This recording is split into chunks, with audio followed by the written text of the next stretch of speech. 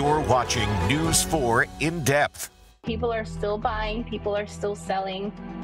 The only better time to buy was yesterday. But how do you afford it in this high demand market? Get a house now and then just refinance a couple months down the road. From buying incentives to mortgage rates, we'll share the secrets to saving. Got us some big Bertha windows with a ton of natural light. And meet the San Antonio real estate agent whose unconventional approach to home selling has made him a TikTok sensation.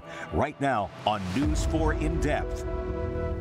Good evening and welcome to News 4 San Antonio In Depth. I'm Mandy Noel. I'm Jonathan Martinez. Tonight we are taking a deep dive into a topic that impacts us all. Whether you are a current homeowner, you're buying, selling, or even renting, we'll be breaking down everything you need to know about the real estate forecast right here in San Antonio. We'll also have all of today's headlines in the News 4 snapshot and your weather forecast. There you go. But first, let's take a look at how home prices have changed in San Antonio in the past couple of years. According to Orchard, back in February of 2019, the median home price in the Alamo City. It was about $210,000. Things slowly increased over the next three years with a spike in June of 2022.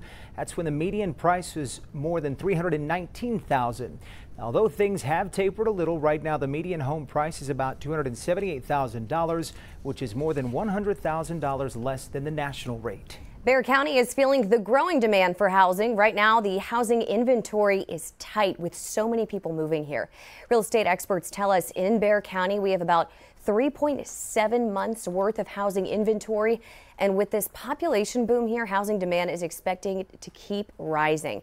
Getting new builds on the market is essential to keep up it's supply and demand, right? If we get more supply out there, that's ultimately going to lead to lower prices or, or, or prices being more stable or coming down. Some of the issues that builders and developers are dealing with are supply chain shortages. So it's being it's being more it's more expensive to build and on top of that the high interest rates also make it more costly to start projects. But there is hope.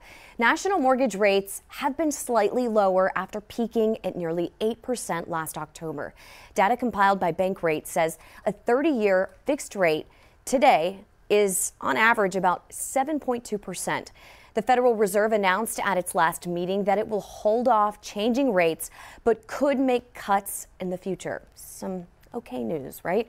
The Fed meets again on March 20th, where it will announce an updated outlook. Get a house now and then just refinance a couple months down the road and get a way better rate without the competition. All right, that's the advice from local real estate agents after San Antonio saw an 11% spike in home sales in January. That's compared to the same time frame as last year, and it is the biggest sales increase in nearly two years. Apartments and townhomes saw about a 40% decrease as people move into the houses that they just bought. Real estate experts say the decrease in mortgage interest rates played a big role in that spike. So we're talking about a whole point, which may not sound like a lot, but you're talking about hundreds of dollars a month. So you people are getting to houses, their payments are less. All right. Although if mortgage rates keep decreasing, real estate agents say more than likely housing demand will increase and so will home prices.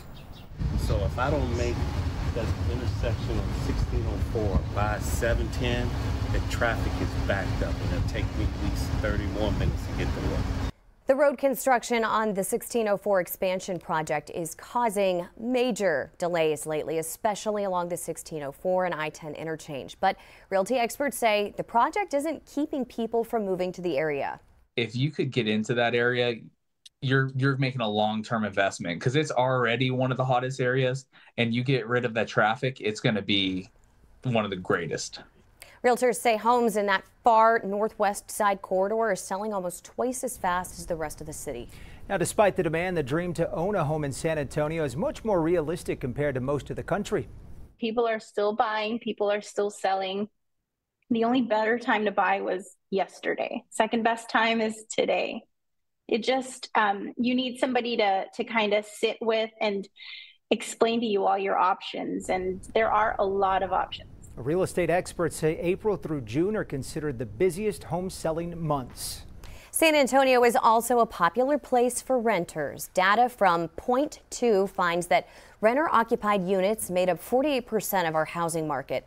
The rental vacancy rate is at 7.5%. The average rent, $1,290 a month. It's about 1% less than last year. Families renting a house are paying just under $2,000 a month. There are money saving options for renters. 1,000 affordable renters are under construction in San Antonio. Some of that funding comes from the first ever affordable housing bond passed in 2022. New affordable housing projects are approved for six of the city districts. The affordable housing bond also has some money designated for new home construction. More of the budget is going to home renovations in an effort to put more single family homes on the market at a reasonable price. So we want to know do you own or do you rent your home? We have a poll up on our website, news4sa.com. Head over there now, chime in. We certainly want to make things simple for you, whether you want to buy, sell, or perhaps rent. Reagan Williamson is a chair elect of the San Antonio Board of Realtors. He joins us right now with some sound advice on the subject. Thanks for joining us. Absolutely. Thank you for All having right, me. so let's break it down very easy. So you got three different topics here. If you want to buy, sell, or rent, what do people need to know about all of it? The first thing you need to know about all of them is you really need to come alongside a professional, and I'm talking about a realtor. And that realtor is going to be your guide and your voice as you navigate the waters of buying, selling, and/or renting. You're going to need their advice because they have access to the data that's going to help drive your decision ultimately at the end of the day. And talk to us about perhaps some of the incentives out there and why now may be the time to buy. Well, if we look at J- January alone, there were about uh, 2,000 solds, and of those 2,000, almost 700 were new construction houses. And a lot of these builders are offering some pretty fantastic incentives, including rate buy downs, to really kind of push down that rate that we've been all struggling with in 2023. So those incentives are there. And it's also if you're a new home buyer or first time home buyer, so first time home buyer, we also have uh, a, a first time home buyer resource available to all of the members of the community. They can access this by contacting their local realtor and they'll they'll plug them into the uh, the, the down payment assistance program. Wonderful program takes advantage of over 60 government programs to help with that down payment assistance as well. You touched on a little bit ago rates, mortgage rates. Where are we expecting them to go? Do we think they're going to go down, stay the same? And what kind of an impact is it going to have? Yes, so I don't have Jerome Powell's phone number in my pocket. Not yet, right? at Not yet, not yet at least, but I am paying attention to what's going on. So we saw a little decrease last week, about 10 basis points, and when the Feds reconvene, it said that we're probably going to see 25 basis points or about a quarter percent decrease coming up in the month of May. So I really hope that, that hope that that will open things up for a lot of buyers and increase their buy bracket a little bit for them as well. So right now, when we see the cost of living right now, of course, it's hitting a lot of people fairly hard. But when it comes to them saying it's hurting me when I need to save up, perhaps for that down payment, maybe closing costs, things like that, uh, what do folks need to know about that, and, and what should they be aware of? Great. Well, that the down payment assistance program is one thing that they need to be get, getting dialed into as well.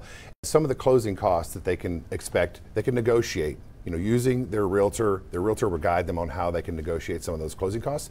Not only for the sellers who will be motivated to sell their homes because we're seeing an average day on market of about 69 days, but lenders as well want to get these deals closed for their clients and put them in their house. So there are incentives available. You just need to be working with that professional that knows those incentives and how to how to tap into that market. So I live out far west side, see a lot of subdivisions popping up Oh, there, and anywhere else you really drive, you see a lot of subdivisions pop up. What is the outlook, would you say, overall for San Antonio in the years to come? You know, I love San Antonio because slow and steady wins the race here. We do not seem to be on a rocket ship trajectory up or down one way or the other. We're either going at a nice pace up or a nice pace down. And right now I see some slow, steady growth for us. Builders are entering the market significantly at this particular time. Buyers are entering the market again. They're getting their arms around the rates. I just put a buyer under contract for 6.35%. I know that sounds kind of mm-hmm. crazy, but it's getting to be more realistic than where we were at almost 8% a year ago. All right, Reagan, some great advice here, a lot of insight. Thank you for taking the time for us Yep. and coming in today. Thanks for having me. All Appreciate right. it. Mandy? Thanks. New data shows San Antonio is at a 95% occupancy rate for retail space, the highest it's been since the pandemic. So, what does that mean for us exactly? Commercial realty experts say there are several contributing factors. Many businesses are coming to the Alamo City from out of state because of the rapidly growing population. When new businesses come to town, they have to use existing retail space because of the lack of new construction projects new shopping centers being built. There are no more, um, at least under construction at this time, because construction costs are too high. The high demand is causing retail rental space prices to soar, and that could have an impact on what business owners pay. Businesses have to raise their prices to cover the higher rental prices. On the flip side, office space has not fully recovered since the pandemic when more people started working from home. One solution could be converting office space to apartments. Having a 140,000 square foot office tower turned into a apartment house, and so that has that's we have I, I at least haven't seen a that executed flawlessly yet. Um, when that does happen, you'll see traction in the investment sales of office again. Yeah, a lot of groups are monitoring the industry. Experts say they're waiting on case studies before making that move. Well, across the state right now, we are watching some thunderstorms north of our region. This is a severe thunderstorm watch from San Angelo up towards North Texas into Oklahoma. These are supercell thunderstorms ongoing with a little bit of rotation. So these storms are worth watching in the hours ahead, but they will stay north of our area. For us, across our four zones, we're overcast, we're humid, and we are watching a few very isolated showers. Right now, DeWitt County seeing a little bit of rain just to the uh, west of Cuero, and that continues to move to the north. So over overall, the next few hours, it's going to be more cloud cover and high humidity. Big drop in humidity for your Friday. Full forecast coming up. Still to come, you may have seen him on Instagram or TikTok. We'll introduce you to this San Antonio realtor. He shares what motivated him to take an aggressive approach to home selling. And millions of dollars could be headed to San Antonio. What is expected to fund? That's on the way to the News 4 Snapshot. You're watching News 4 San Antonio. Evening. I'm Melissa Vega, and this is your News 4 snapshot. Millions of dollars could be coming to San Antonio from the appropriations bill President Biden expects to sign later this week. The San Antonio water system will get just under a million dollars, and 1.3 million will go to the city's Ready to Work program. We'll break down how the money will benefit you tonight at 6:30. The San Antonio City Council is looking into how to keep funding the Migrant Resource Center where migrants stay before traveling out of San Antonio. Four options were presented to the City Council today. The Council didn't make any final decisions. They first want the operators of the center to look into other funding avenues. And people are upset and angry today after the City of Uvalde released the results of an independent investigation into the police department's response to the Robb Elementary School tragedy. The report said Uvalde police had no policy violations when it came to the department's response to the mass shooting shooting back in 2022. We'll have much more on these findings tonight at 10. And that's a look at tonight's News 4 Snapshot. I think she's beautiful without makeup. Now that's how you take a 6 to a 10. Next, meet this San Antonio re realtor whose aggressive tours have gone viral.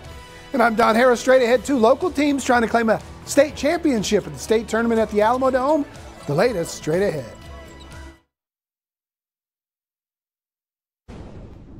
Pretty odd placement here. You've got your pantry. Pick any snack you want, other than me. That's Brad Scott, the San Antonio area realtor who records so-called aggressive tours of his property listings under his handle, Brad the Realtor. He's made a name for himself on social media, over 140,000 followers just on Instagram. Scott says he only sells new construction homes. His videos show him walking through, touring a property, using descriptions that uh, aren't always safe for TV, so we've had to edit around those. Scott says, in the world of perfect, overfiltered, cookie cutter aesthetics seen in many real estate marketing posts, he wanted to find a way to stand out from other realtors. He tried new marketing tactics for four or five years, and then finally one day, he came up with a new one be yourself say what you would say to somebody uh, who's been your friend for four or five years. And once I once I edited it and put it all together, uh, I decided to name it Aggressive Tours because it definitely was very aggressive. And I had no idea, no idea it would explode the way that it did.